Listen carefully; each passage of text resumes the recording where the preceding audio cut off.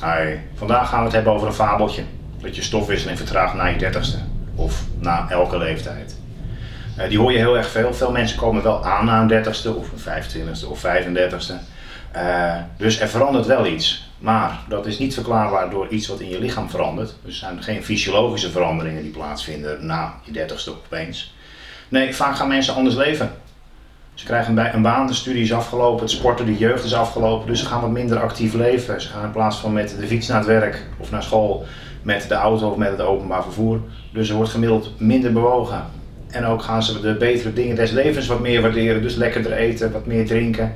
En ja, als je dat toch gaat optellen, wat minder bewegen, minder sporten, toch wat spiermassa kwijtraken uh, en wat lekkerder eten, ja, dan kom je natuurlijk aan. Dat is alleen niet toe te wijzen aan een magisch getal dat je na je dertigste opeens je stofwisseling verandert. Nee, dat komt omdat je anders bent gaan leven, meestal luxe.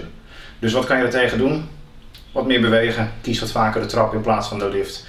Uh, als het kan met de fiets naar het werk, toch krachttraining gaan doen om die uh, teruggang in spiermassa tegen te gaan. En een beetje letten op de voeding. Dat was hem weer voor vandaag. Tot de volgende keer.